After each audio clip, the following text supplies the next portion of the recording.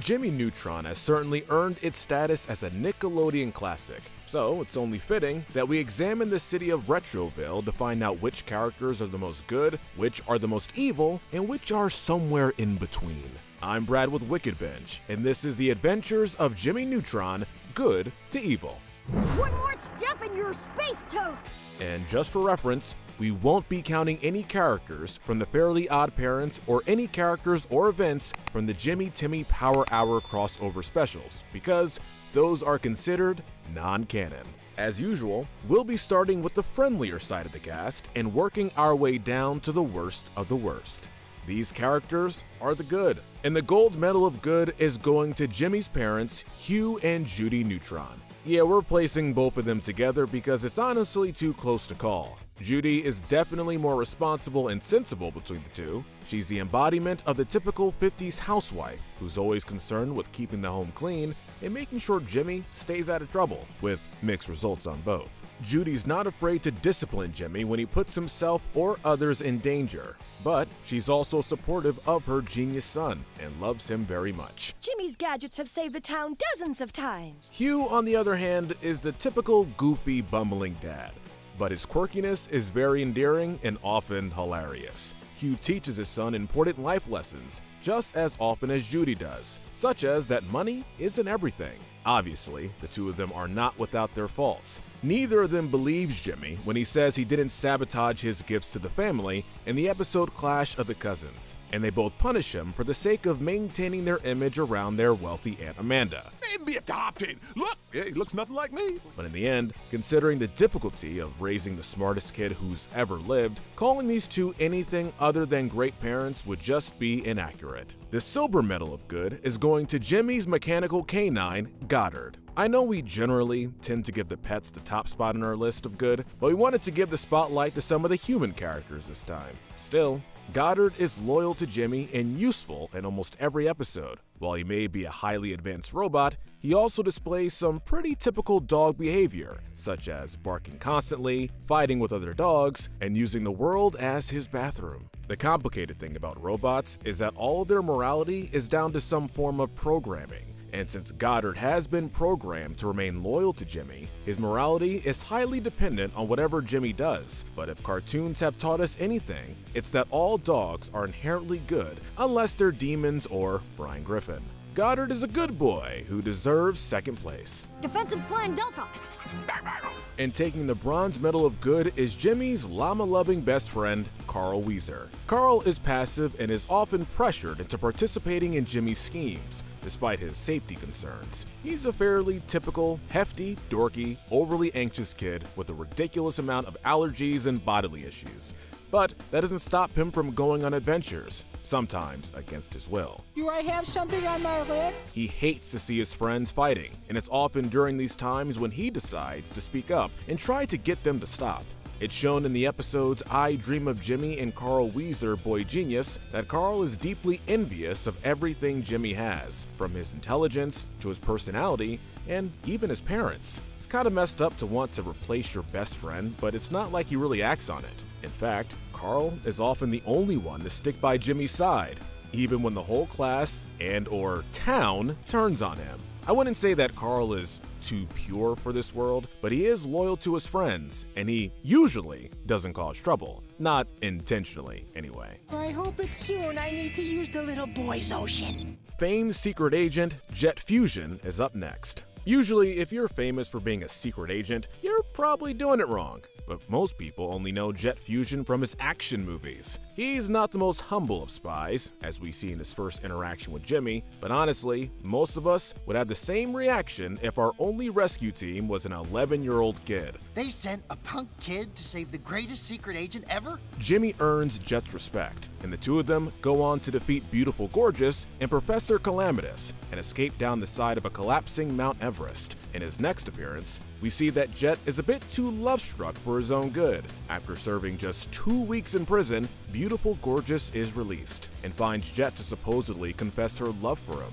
Jet, for some reason, is not skeptical of this in the slightest, and proposes to her almost immediately, which allows Beautiful to hypnotize him as part of her scheme to eliminate both Jet and Jimmy. Fortunately, Through the power of gospel music, the hypnosis is broken and the wedding is called off. But Jet can't get over Gorgeous and promises to wait for her to get out of prison again. Write me every day. I'll wait for you, baby. Sure, he's a bit too love struck for his own good, but he's the world's greatest super spy. I'm sure he's put away more evil mistresses than he's tried to marry. Next up is one of Jimmy's most annoying inventions, Brobot. Jimmy decides he wants a little brother to play with, but since that's not really an option for Hugh and Judy, Jimmy decides to build one in his lab. Jimmy apparently never programmed Brobot with the sleep function, as he never runs out of battery or has to recharge, which means he has all day and all night to play all sorts of games. I jumped over the big white round thing in the sky. Jimmy becomes annoyed with Brobot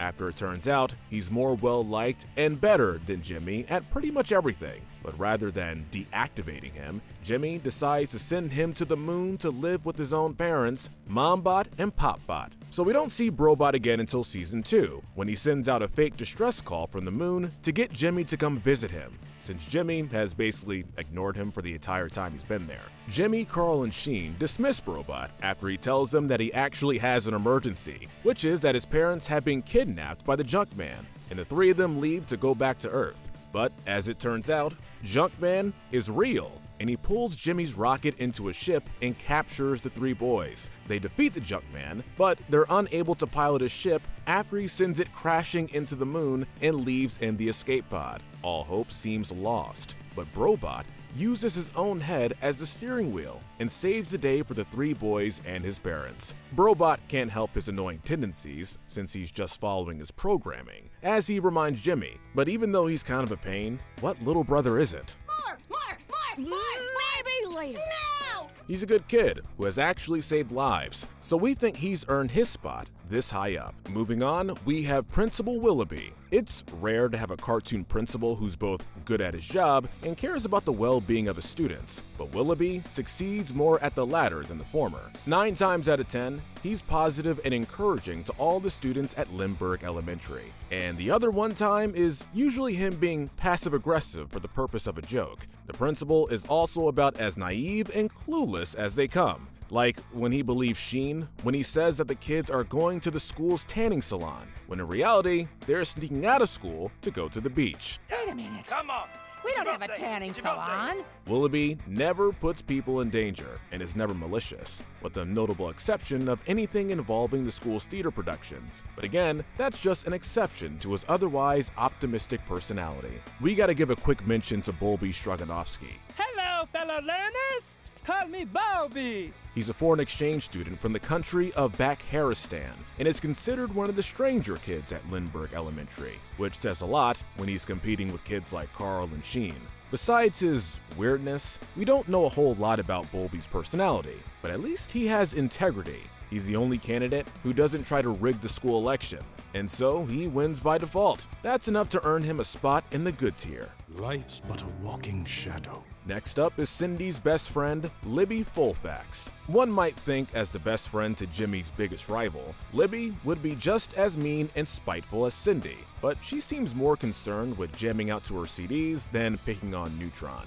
In fact, she's pretty nice to Jimmy and his friends, at least in the later seasons, which makes sense, as it's later revealed that she's in love with Sheen. She's also honest, and it's normally out of character for her to lie about anything, such as when she lies to Cindy about where her gym stash is, while the whole group is suffering from Ruby Madness. Ruby Madness. Be quiet! There is that dark timeline where she becomes the evil dictator of Retroville, but that only happens because Carl exposes her to the megalomanium at her birthday party. Still, it seems like most of the time, any bit of power she has almost immediately goes to her head. Such as when she starts gossiping about everyone's private lives when she's given her own news segment. Call me when you get some real dirt. While she's far from perfect, Libby is probably the closest thing the show has to a normal character, which is far from a bad thing, as she makes for a good straight woman to the others. Now it's time to talk about the boy genius, Jimmy Neutron. Those two words are pretty good descriptors of his character. He's a super genius with an IQ of 210, but he's still just a kid who hasn't learned that with great power comes great responsibility.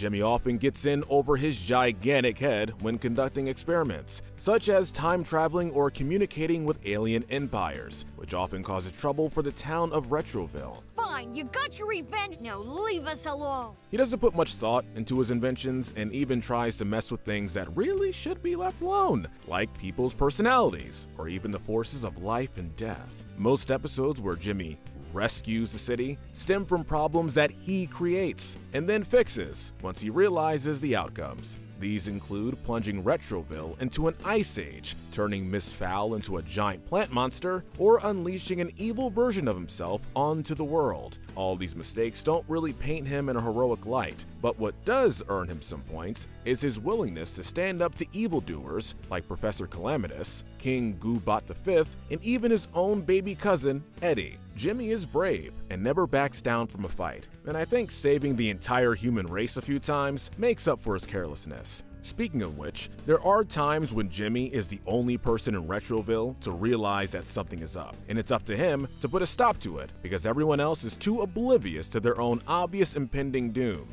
Overall, while Jimmy has a lot of the typical flaws of an 11 year old, like laziness, vanity, and recklessness, he is an extraordinary kid who not only wants to help people, but is willing to save the world in order to do it. Up next, we have the Ultra Lord obsessed Sheen Estevez. And no, we're not counting his appearance in Planet Sheen or any of the characters from that show, because Nickelodeon has done everything in their power to decanonize and bury that show as the mistake that it was. Anyway, he has a bombastic and hyperactive personality, which probably stems from the amount of TV and sugar he consumes on a daily basis. Despite having a much larger brain than Carl, Sheen is easily the most dim-witted character in the show, which doesn't necessarily connect to his morality, but it does mean that he gets himself into trouble. Learn to ride them and put on a rat rodeo. We'll make millions! Most of his personality comes from his love for the superhero known as Ultra Lord, and if nothing else, he at least picked a good role model to emulate, even though he doesn't always stick to those principles of bravery and justice that the TV show espouses. Sheen also loves his dad and his girlfriend Libby even more than he loves Ultra Lord, so I'd say he's far from being a bad kid. And finishing off the good characters is Betty Quinlan, She's considered one of the popular girls at school, and she's the first girl Jimmy would actually admit that he has a crush on. As expected, the preteen kid goes a bit girl crazy and starts doing everything he can to try and impress her, including throwing a party when his parents aren't home, auditioning for the school play, and putting on a magic show. Cindy also gets jealous whenever she sees Jimmy and Betty flirting, and this tends to cause even more trouble. Generally, Betty acts very sweet and kind to Jimmy and everyone else, and it seems as though she likes him back, given that she kisses him twice. But one time, she pulls Cindy aside after a massive argument and tells her that Jimmy is all Cindy's, so long as she drops the attitude with Betty. I don't want to say that she led Jimmy on, because they are just middle school kids, but if they were old enough to know better, her behavior in that regard might count against her a bit more. Still, she is a kind and caring person, but doesn't get much spotlight other than when the show needs Jimmy to impress her and make a fool of himself while doing so. I can still give you a kiss for saving our lives. With the good characters out of the way, it's time to venture down into the ethically questionable and morally neutral characters. This is the gray area. Our first neutral character is the bird-like teacher, Miss Fowl. Place! She states that teaching is the only thing keeping her alive and that she misses all of her students, except Sheen, when they all spontaneously become sick. So at least she's good in that regard. Other than that, she really doesn't have any more of a personality. We don't really get to see her doing anything good, and anytime she does anything bad, it's usually because of something Jimmy did earlier in the episode, like when she reverts to her primal instincts and lets the class sacrifice Jimmy. Take boy to Glacier! Miss Fowl is far from bad, but we don't see her doing a lot of good either, so she earns a spot in the higher tier gray area. Next up is the show's anti-hero, Cindy Vortex. Cindy has some character flaws that, a lot of the time, mirror Jimmy's faults. She's arrogant, vain, overly competitive, and quick tempered. Yeah, right. Let's have a party in this beautiful spot. Having a rivalry with Jimmy isn't necessarily bad, but she's almost always the instigator in their fights, most of the time out of pride and jealousy of the fact that Jimmy is smarter than her. But, as will be obvious to most viewers, Cindy does have a huge crush on Jimmy, despite both of them vowing to hate the opposite gender. We also know that Cindy is a super genius as well, and during the show, she usually points out how dangerous and irresponsible Jimmy's inventions are, though she rarely tries to actually help him improve and would rather tease him about his failures. As previously mentioned, she gets very jealous of other girls talking to Jimmy, especially Betty Quinlan, culminating in trying to sabotage Jimmy's magic act and gets the whole group stuck in a different dimension. We'll admit that she definitely got better about her arrogance and cruelty, but the amount of trouble she's caused due to arrogance and trying to sabotage Jimmy really dragged her down the list. I'm telling you, you can see the equator in the Pacific Ocean. Nick Dean is up next. Nick is seen as the coolest kid in school, and of course, he thinks that gives him a license to do whatever he wants. Miss Fowl doesn't even make him do the homework because Nick is just too cool for school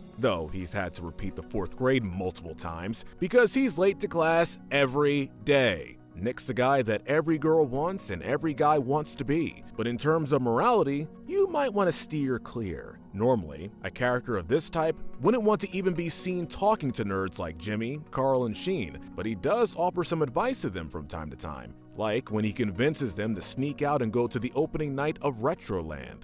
What your parents don't know won't hurt them. Unfortunately, this advice always ends up getting Jimmy and Co. into trouble, making Nick a very bad influence on the other kids. His ego is one of the worst in the show, and even though most of the time things seem to work out for him, there are those odd moments where he shows his true colors, like when he runs away screaming from Poultra the giant chicken. Like, we won't fault Nick too much since he's just a kid, but he's gonna have to shape up soon, or he'll probably end up working at the candy bar for the rest of his life. Or he'll be a movie star? I don't know, who knows. We gotta quickly mention the school bully, Butch Bukowski. There isn't a whole lot to say about this kid. He's the standard dumb bully. He plays baseball, likes to deal out wedgies, big words hurt his brain. However, even Butch fears the awesome power of the hall monitor. I have my pass right here. nice to see you. Ciao. Rounding out the gray area are three villains who ended up switching sides the Space Bandits, Zix, Travoltron, and T. When they first appear, they try to kill Jimmy and his friends and steal all the Astro Rubies that they've mined. It's a shame they'll have to be vaporized. After an intense space chase, the bandits crash into each other, leaving them stranded without any transportation. That is, until Jimmy sends them McSpanky's restaurant flying towards the sun, basically handing them a brand new spaceship. In the next appearance, they invade Earth, while Jimmy has shrunk everyone in Retroville. This allows the bandits to easily capture everyone in town, with plans to sell them to alien children as toys. Jimmy puts a stop to this plan. We don't see the bandits again until the series finale. They join the other villains in the plot to destroy Jimmy Neutron, but T isn't exactly happy with this treatment from the other baddies. Sheen manages to befriend T while in the holding cell and convinces him to go along with their escape plan. Eventually, T confronts Travoltron and Zix and asks them why exactly they have to be villains. The two can't come up with an answer, so that basically forces them to become good guys. You can't answer me, can you, Jump? Now get out there and help Jimmy! The bandits save Jimmy and his friends from T-Rex and decide that it feels good to be good. So all in all, while we haven't exactly forgotten about all the theft, kidnapping, assault, and uh, attempted murder, at least we know that they're turning over a new leaf from now on. I think that's enough to land them just out of the bad territory. That concludes our gray area, and now it's time to descend into the hive of villainy with the bad and the evil characters. We'll mostly be focusing on the main bad guys who appear in the League of Villains, but we do have a couple of notable lesser baddies on the list. First up is Eustace Strych. He's the usual mega spoiled rich kid who thinks the world revolves around him because he has money. We're considering him the least bad villain for a few reasons. I warned you not to interfere, father. Now you'll pay. Normally, we'd give him the excuse that he picked up the snobbish behavior from his parents, but even his own father realizes how horrible Eustace is and has to learn to discipline his son for acting up. He became Jimmy's sworn enemy after trying to win Goddard in a wager and losing the robot battle. Then he tries to beat Jimmy and friends to the unlimited energy source radiating from Mars, so that he can become the ruler of the Red Planet. Unfortunately for him, Mars already has an established government, and they aren't too fond of humans. After briefly wooing Cindy over to his side, again, Eustace betrays her, steals Jimmy's map, and makes his way to the power source with Jimmy hot on his tail. Both of them attempt to drain the power at the same time, which awakens the local Martians who don't take too kindly to trespassers. Martians? Cool! Can I get an autograph? The aliens prepare to fire a Death Star beam right into the Earth, forcing Jimmy and Eustace to team up to defeat them. Thankfully, they do, and the entire group returns to Earth together. Seems like Eustace may actually get some redemption, but nope, he's right back to being a bad guy in the series finale. Aside from being an all-around irritating snob, he's also physically abusive towards his butler Blix, who must get paid real well to deal with it. Nobody beats me. Nobody, nobody, nobody, nobody! Still, saving the Earth from destruction counts for something, especially when a lot of his fellow villains have the opposite goal in mind. Next up, we have nanobots N1 and N2 respectively. Of all of Jimmy's most dangerous inventions, these two neurotic little bots are possibly the most destructive. What? Your chair is bigger than mine. Jimmy invents them to protect him from bullies at school, but the bots are unable to distinguish between bullying threats and just normal, everyday actions. So, the bots start attacking everyone until Jimmy outsmarts them by attacking himself overloading their programming and causing them to explode. Down the line, he tries again, where instead of counteracting bullying, their task is to help him write better poetry. Specifically, they're supposed to correct the error, and of course, they take this to the biggest extreme possible and begin correcting for every error in existence. Jimmy makes matters worse by telling them that flaws are part of human nature, which the bots believe is an extreme error that needs to be deleted. They then move to delete everyone on Earth and save Jimmy for last so that they can please the creator. We must delete every human on Earth. After the entire population, except for Jimmy and his dad, has been de-atomized, Jimmy manages to outsmart the nanobots by having them compute the infinite value of pi, which causes them to overload yet again. The nanobots want to do everything in their power to please Jimmy, even after they've been locked up like Hannibal Lecter. They are somewhat free-thinking, but like with all robots in the show, they are slaves to their programming. The nanobots aren't evil so much as they are misguided, so I think it's fair to say that the danger comes from Jimmy's lack of forethought and really from any sort of malice that the bots may have.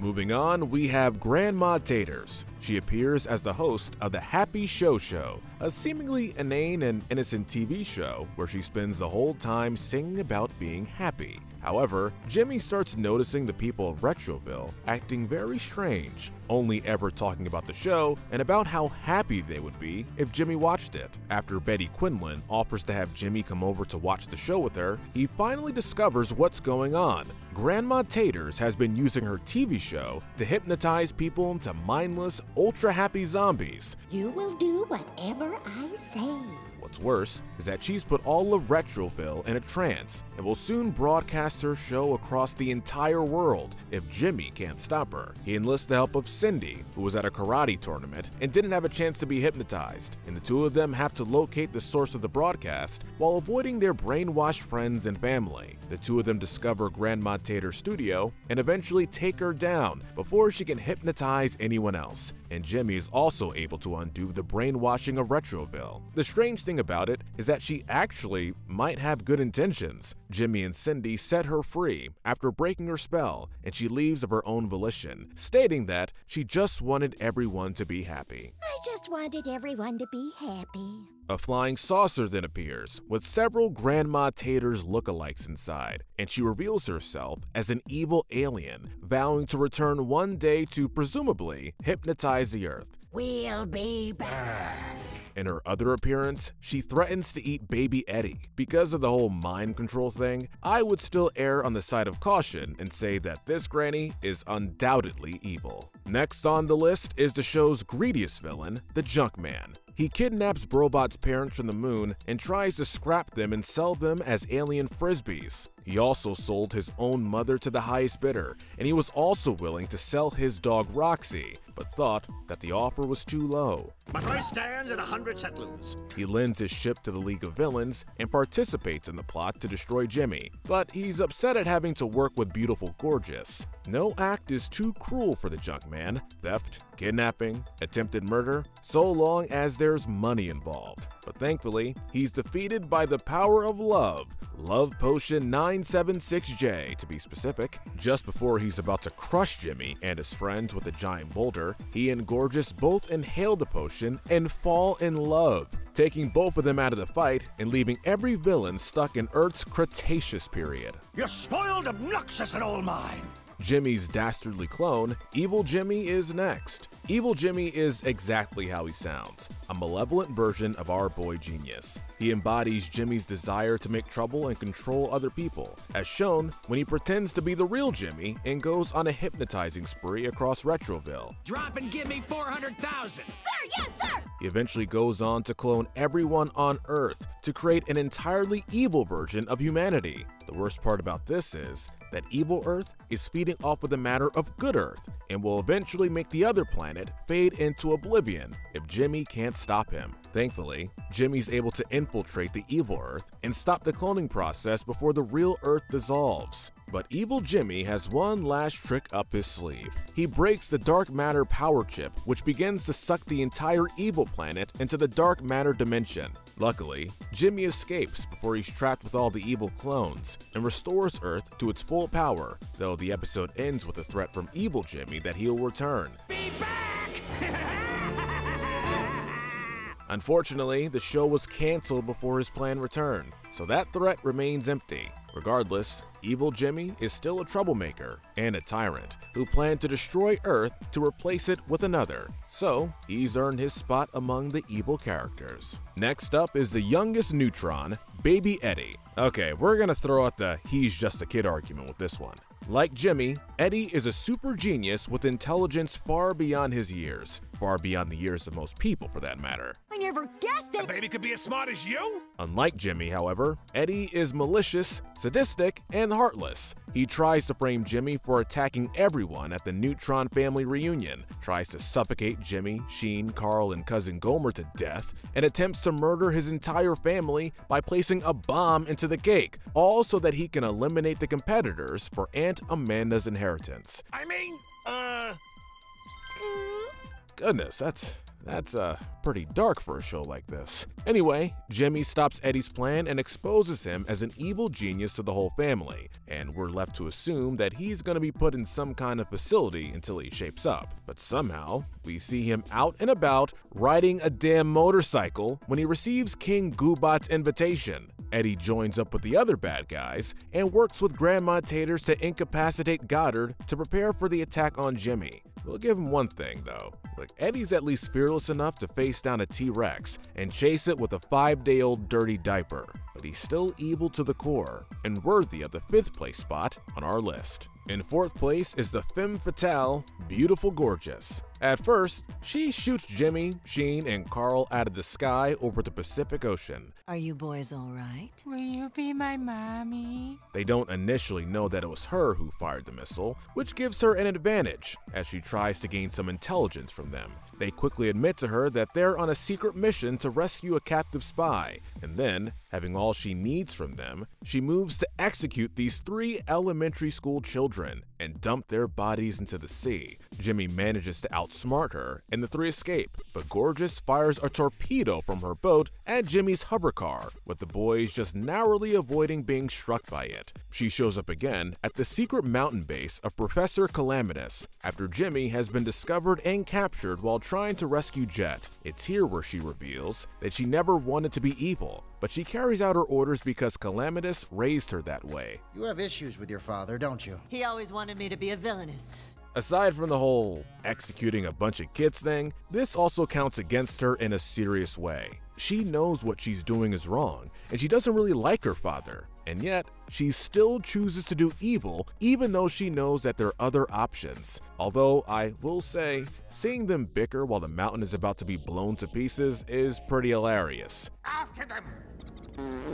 Gorgeous, along with the rest of the villains, probably ended up perishing in the Cretaceous period in the show's timeline, but we'll never know for sure since we never got that fourth season. At least she's there with her one true love, the Junkman. Taking the Bronze Medal of Evil is the show's main villain, Professor Finbarr Calamitous. He appears to be rather harmless, barring the giant robot suit, when we first meet him because he's never been able to finish anything, even his own sentences. They called me half done and never finish. As such, his evil intentions had never been fully functional. So, after coming out of hiding, he lures Jimmy Neutron to his lab to force him to finish every invention that the professor has been unable to complete by himself. Jimmy escapes from captivity and tries to make a run for it, but he's unable to shake Calamitous off his tail until the professor lets it slip that he really has to use the bathroom. Jimmy is able to use the mad scientist's own bladder against him, causing the professor to retreat for the time being.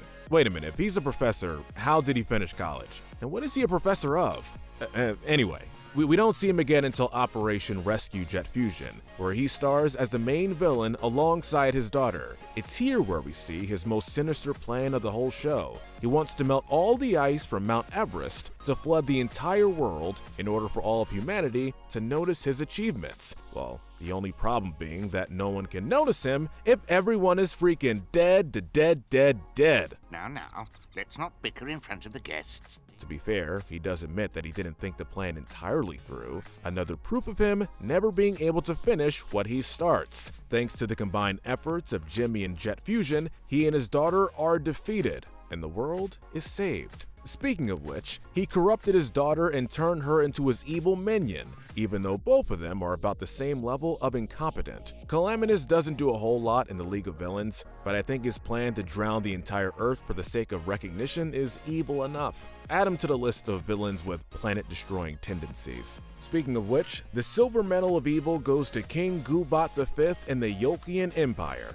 Goobot, his brother Ooblar, and the rest of the Yolkians are egg-shaped goopy aliens that worship the chicken goddess Poultra. After receiving a deep space transmission from Jimmy Neutron, Goobot orders his fleet to head for Earth and abduct all the adults to be given as a sacrifice to Poultra. Realizing that their parents are gone, the children of Retroville take over and throw a massive city-wide party. But after a day, they realize that they miss their parents and have no idea how to actually take care of themselves. Luckily, Jimmy discovers that the Yolkians have abducted the adults, and he, along with Nick, Cindy, and the other kids, devise a plan to get their parents back. When they arrive on planet Yolkus, they are captured by the local guards and brought before the king. Hello, itty bitty humans.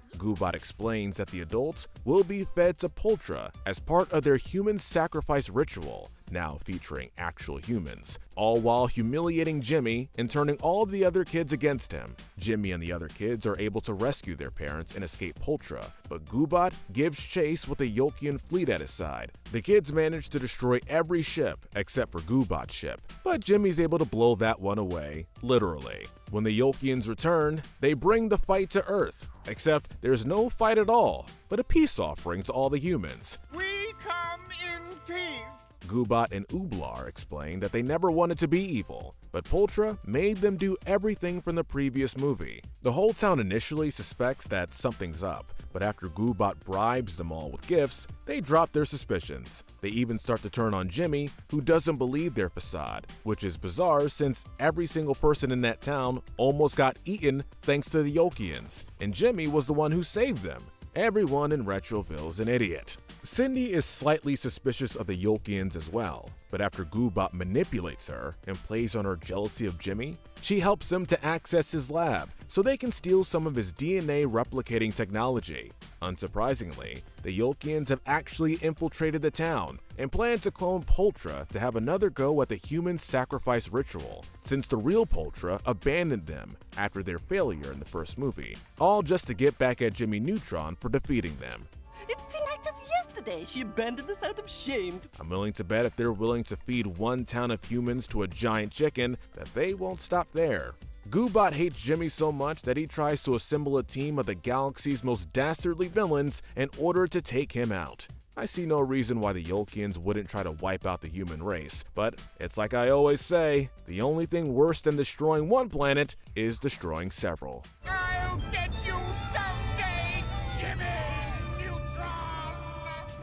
And we gotta give the gold medal of evil to Meldar Prime. There's nothing more despicable than a sleazy game show host, especially one that likes to blow up the home worlds of the people who participate and lose. His show, Intergalactic Showdown, has apparently been going on for centuries, since Earth has been receiving his invitations since the dawn of civilization. But it's not until the age of Jimmy Neutron that the humans are finally able to respond. The regular crew, plus Bolbi, are transported to the stage, where Meldar explains that they either compete against three other alien races or the Earth will be destroyed.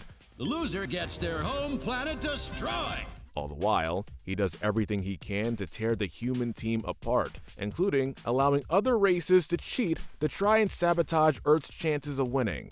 For whatever reason, it seems like Meldar really has it out for Earth. I suppose it wasn't enough to just have the safety of the entire planet on the line. We gotta have a host with a vendetta too.